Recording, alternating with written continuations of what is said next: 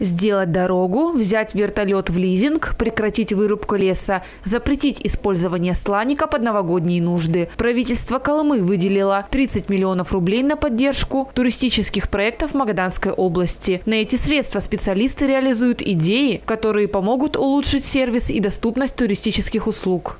А, каждый коттедж нам выходит где-то 800-900 тысяч. Поэтому у меня вопрос немножко другой. То, что база развивается нормально, вот только за этот э, сезон там четыре с половиной тысячи, это те, которые видим мы.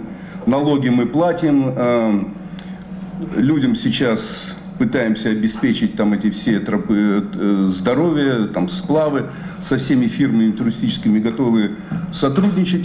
Как отмечают эксперты, из-за пандемии отдых в своей стране и в своем регионе – наиболее правильный путь для профилактики болезни. Кроме того, Дальний Восток, особенно Магаданская область, пользуется успехом. И на Колыме, и в ее столице немало мест отдыха, которые могут заинтересовать туриста, утверждают специалисты. Также обсудили важную для области тему – вырубку слаников в преддверии Нового года.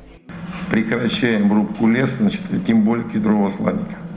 Я, Совершенно. Я, я дал указания такие, значит, немедленно причем, значит, я, э, э, вот было совещание на этой неделе с Минприроды, на столбы теле, эти э, электрички рубить лиственницу вот такую, которой 150-200 лет.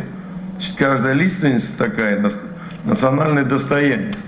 Значит, так же, как кедровый столаник. Я не знал, он, оказывается, растет 200 лет. Ну в том-то и дело. Вот Значит, в этом году запрещается немедленно причем.